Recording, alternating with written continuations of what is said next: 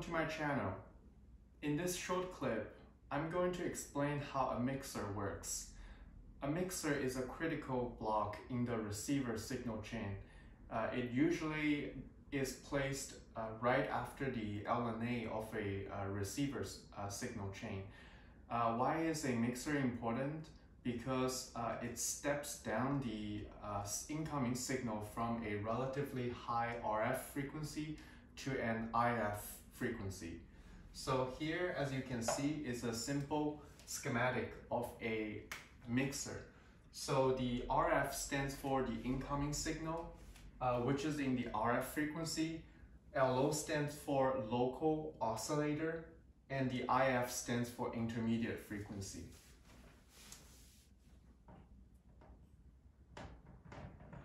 Let's take a look at the mathematical expression so let's say the uh, input signal is cosine omega RF t. And the LO is cosine omega LO times t. And let's give the incoming signal an amplitude. So the when we multiply a times cosine omega RF t, multiply it with the uh, local oscillator omega LOT. We get one half of the amplitude cosine the summation of the RF plus omega LOT plus one half A cosine the subtraction or the difference between the RF and the LO tone. Now let's take a look at the same phenomenon in the frequency domain. So in the frequency domain, we know that the uh, LO signal can be interpreted as two impulse signal plus omega LO. And uh, let's say our input frequency in the frequency domain, let's express it as a modulated frequency, omega RF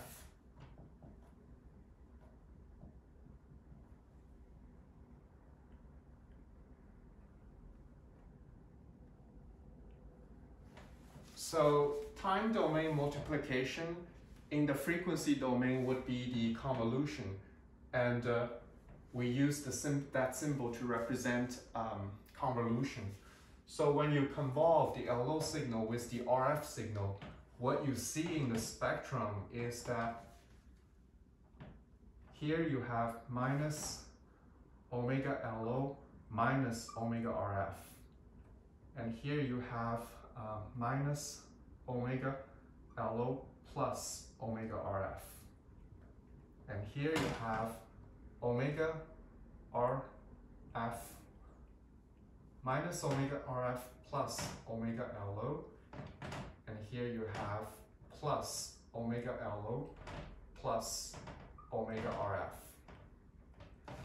So essentially you get four of these modulated signal in the frequency domain.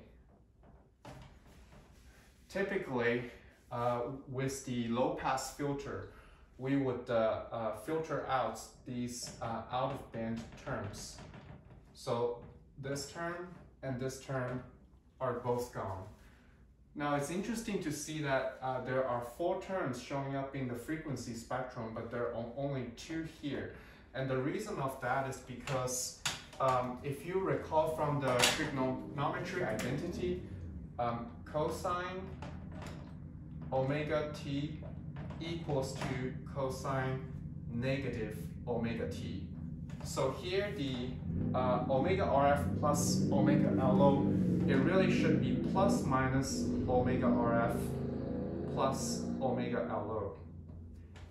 And here this term omega RF minus omega LO should really be plus minus omega RF minus omega LO.